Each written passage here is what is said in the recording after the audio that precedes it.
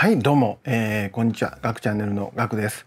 えー、今日はねまたちょっと買ったものをご紹介ということでしたいなと思うんですけどもうタイトル見たらわかると思うんですけどね。あのラジコンを買いました。あのラジコンカーね、えー、を買いました。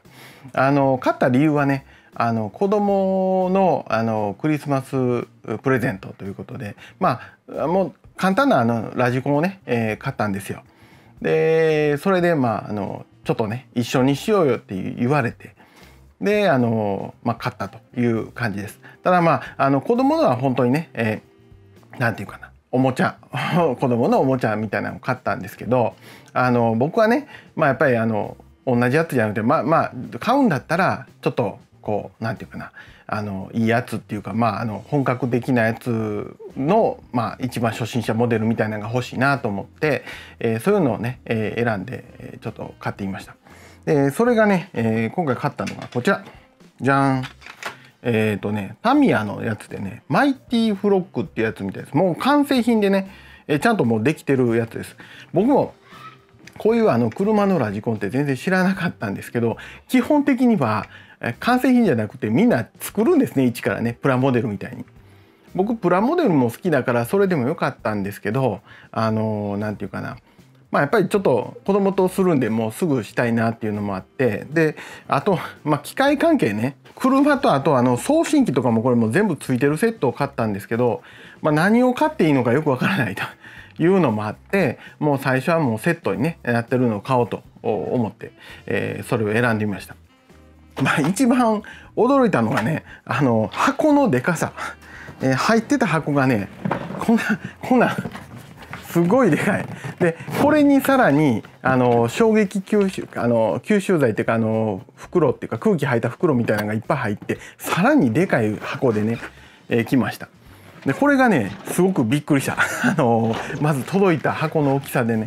でも中身はあのもうシンプルですよ車とえラジコンのこの送信機とであと、えー、ニカドバッテリー。ニカドバッテリーね。な、えー、が入ってました。ニカドバッテリーね、えー、でえっ、ー、とあと充電器ね。えこれがニカドバッテリーが、えー、1300mAh なんでまあここにも充電器の、うん、ヒントがまないね、えー、書いてますけどえっ、とだいたい4時間5時間くらい。だからまあ一晩ね僕昨日寝る前に仕込んで一応充電だけはしてみました。ね。でまだあの1個もね走らせてないんですよ。だからあの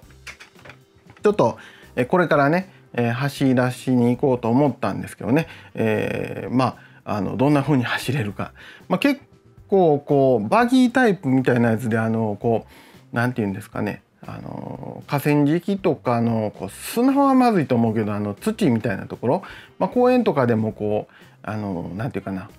あんまり平らじゃない舗装路じゃないところを走れるようなやつの方が、まあ、走れるとこいっぱいあるし、まあ、子供に買ったのもなんかそんなバギーみたいなやつだったんで、まあ、その方がいいかなと思ってね、えー、僕もバギータイプにしてみました。ね、で、えーと、特徴としては僕もあんまり詳しいことがわからないんですけどなんか僕もいろいろ調べてたらなんか昔に流行ってたモデルの復刻モデルみたいですね。あのそんなもんあんまり本当に全然知らなくて買ったんですけどあのそんなモデルみたいでなんか構造の作り的なものはあのこう今のね、えー、最新モデルっていうわけじゃないみたいです。まあ僕にしてみたら別にねあのなんていうかなそんな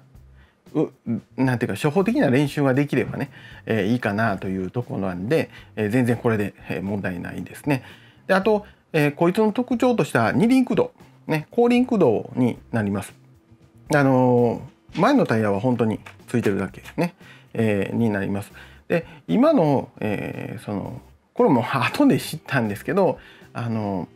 なんていうかなこういうラジコンカーって結構四駆の、えー、ものが多いみたいですね。あの後で調べてみたら。まああのそういうことで。でも二輪駆動は二輪駆動ね結構面白いっていうふうなことを書いてる人もいてたんで。まああの練習にはいいのかなというふうに思ってます。はい。まあ、実際走らせてみてどう思うかなんですけどね。全然こうコントロール効かないとかなっちゃうのかも分かんないんですけどね、えー、そういうところです。であそうそう入ってたものね。あと説明書が入ってたんですけどね。あの説明書とあと細かな部品がこう入ってたんですけど。1個ねなんかねよく分からなかったのがねこの何て言うかな説明書のとこにこう旗が旗っていうか横にアンテナみたいなのがこうねえつけれるようになってるんです。そこにあの何て言うんですかねここら辺書いてますよね。あのアンテナ線をねこうここここら辺か。ねアンテナ線をこう出してこの旗のところに巻きつけてくださいっていうかこう書いてあるんですよ。この棒みたいなやつね。で、えー、アンテナ線がどこを探してもないと。ね。これちなみにあのそのなんていうか組み立てモデルのこのエキスパビルドっていうやつみたいですけどあの XB って書いてですね。組み立てモデルの説明書なんですけど、えー、ないと。でおかしいなおかしいなと思っていろいろ見てたらちょっとどこやったかな。どっか他のところにあのなんていうかな特殊なモデル以外はもう無線機ん？無線機っていうか、まあ、あの電波発信送受信する機械のところの本体内蔵してるって書いてましたね。でもここには書いてくれてないんですよ。ちょっとそれ分かりにくかったずっと探してたんですけどね。えー、なかっ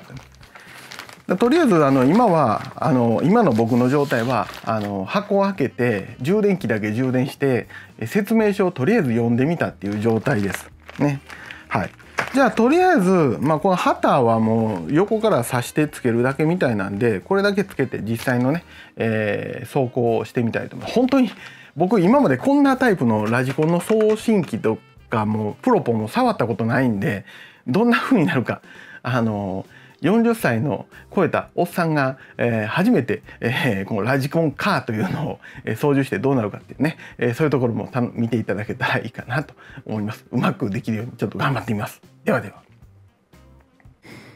はいどうも。えー、っとね、ちょっとあの川の横のまああのなんていうかな。まあ、あのグラウンドみたいなのがね、えー、ちょっと来ましたけどここでちょっと走らせてみようと思います。えー、っとまあ、ちゃんと走れるかどうかがね、本当にわからないんですけど、あのー、なんていうかな、肉だからちょっとお尻滑らしたりもできるかもわからないんでね、まあ、あの、ちょっと遊んでみたいと思います。ではでは。はい、まあ、とりあえず準備だけね、えー、しようと思います。準備っていうか、バッテリー入れるだけなんですけどね、この裏側のところで、えー、このピンみたいなのがあるから、これ抜いたら、もうね、寒いな手が、あ、いけたいけた。手が凍えてたらちょっとしんどいかもわかんないですけど。で、これでここへバッテリーを入れて、つなぐだけで OK みたいです。よいしょ。ちょっと、ここか。で、これで、まあ、プラスとマイナスも間違えようがないですよね。させるのがそうしかさせないと思うんで、よいしょ。んで、これは中入れといてんかな？こんでいいんかな？出しとこうか。こう、これ、こう、こう、これでいいんかな？まあ、とりあえずケーブルだけ当たらなけりゃいいんでしょう。よっ。OK。で、えっ、ー、と、とりあえず送信機の方は、こいつから電源を入れるんですけど、電源入れて、で、この車のスイッチを入れて、ね。で、あと、まあこれでハンドルが動いて、これでモーターが回る。ね。で、こうは、こっち向きでモーターが回って、こっち側がバック？あ、バックね。うん。で、えっ、ー、と、あとここのやつで、なんていうかな、このトリム調整というか、これで前のタイヤのこう微調整みたいなのができて、まっすぐ進むように調整をしないといけないのと、これでなんかね、このスピード、これちょっと今回したら前行ったりするかもしれないけど、あの、モーターのこのアクセルとかブレーキの加減を調整するやつみたいです。で、これがあの、なんていうかな、向きが、ハンドルのこのやつが全く逆に、えこれで右とか左とかなってますけど、これが左とか右とかなったりとか、これのバックとこうね、えー、前進と真逆にするっていうスイッチみたいです。一応説明書は読みました、ちゃんとね。はい。じゃあ、とりあえず走ろうと思います。はい、じゃあ、あのー、ちょっとやってみたいと思います。一応ね、えー、このトリム調整っていうのはちょっとやりました調整だけやってね今から、えー、実際走ってみたいと思いますでは行きます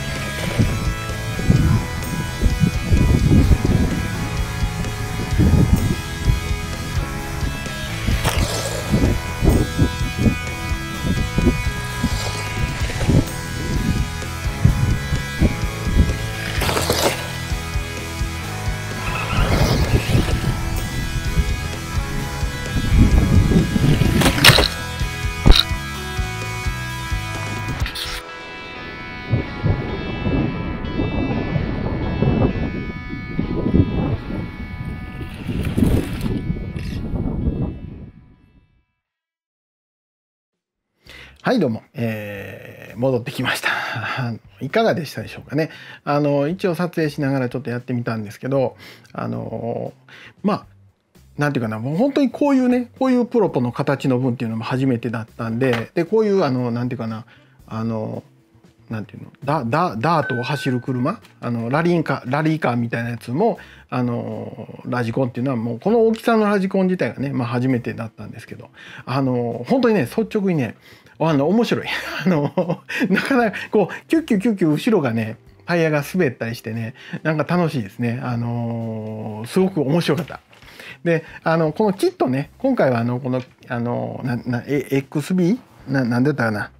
エキスパートビルドっていうね、えー、このマイティフロッグっていう車の、えー、やつを買ったんですけどあの一個ねあのこうなんていうかジャンプみたいなのをしてた時にここえー、っとねどこだったかな？あここ。ここのブーツもちょっと破けちゃったんですけどねここ。あのこの中の棒がねボーンと外れちゃってねこのこ,、えー、とこっち側こっち側ね連結してる方がバンと外れちゃってブーツを破いて外へ出てきたんですよね。でその時一応工具、まあ、あのバイクで行ってたんで車載工具もあったし、まあ、あのこのキットの中に入ってたなんかあのなんていうかなあの工具類ちっちゃい工具類みたいなのがあったんで一応持って行ってたんですけど、まあ、それでタイヤ外したりなんかしてたらね、あのー、一応直すことはできて、えー、ていうかなあの全然すぐ走れたんですけどあのなんていうかなまあまあそういうトラブルはねちょっとありましたけど、えー、まあ面白かったです。あのそれはもうちょっと無茶なジャンプをさしちゃったんだと思うんですけどね。はい。で耐久性とかはちょっとよくわからないけれどもまああのまあ普通に走ってる分には大丈夫だと思うんですけどね。あのはい、であのちょっと思ったのがこのキットモデルを買った場合やっぱりねあのバッテリーはもうあと1本か2本かは欲しい感じはしましたね。あの走ってたのがうんどのくらいかな？10分とか15分くらいじゃないかな。いろいろぐだぐだ喋りながら最初ねやってたりあのしてたんで、まあ、正確にねこうずっと走りっぱなしで何分バッテリーが持つのかはちょっと分かんないですもうついてたバッテリーね。だけどあのやっぱりねちょっと容量が大きいバッテリーがあと1本か2本かまああのあんまりねずっと高速で走り続けたら多分モーターとかも熱持ってくるんで、まあ、ちょっと休憩入れながらみたいな感じでやったとしても、まあ、12本くらいはね追加バッテリー欲しいなというのはまず思いましたね。はい、あとはねどうなのかな？まああの何ていうか本当に楽しかったんでねあのあんまりガチでやる気もなかったんですけどまあ今からもガチでやる気はあんまりないですけどなんかこういうのって結構こういろんなこうパーツをね、えー、て言うかなあの変えれるみたいなんででそういうのはちょっと変えて例えば、まあ、モーター変えるだなんていうかこういうところについてる部品とかを変えてあの、ちょっとこう走りやすくっていうかなんかこう耐久性が上がるというかまあそんな感じの、えー、改造になると思うんですけどそういうのはちょっとやってみたいなと思いました。もともとあのプラモデル作ったりとかそのなんか手先使ってねやるのが僕好きなんで、えー、ちょっとやってみたいなというふうに思いました。ね。はい。で 結局旗これ持って行ってたんですけどつけないでねつけるの忘れてました。ずっとこのまま走っちゃってましたけどね。はい。ということでこの旗があったらねなんかここけてもこう旗が邪魔でなんか起き上がってくれるみたいですね。旗つけないでやってたら思いっきりバーンってこけてましたけど はいあのはいそんな感じですね、はい、今ちょっとね綺麗に拭きましたウエットティッシュではいということでえー、まあ今日はねあの40超えたおっちゃんが、まあ、言ってみたらラジコンカーを、えーまあ、やってみたというね、えー、ことで、えーまあ、今からあのね、えー、もしこう始めようかなっていう方いてたらね、えー、こういうふうな完成モデルまあ最初からこう組んでいくっていうのはしんどいですけどこういうキットモデルっていうのがあるみたいに、まあ、僕買ったようなやつを買って始めてっていく。行くっていうのはかなり敷居が低いと思うんでもしよかったらねあの面白かったんで本当にやってみてください。そしたら今日はね、えー、この辺で失礼します。さようなら。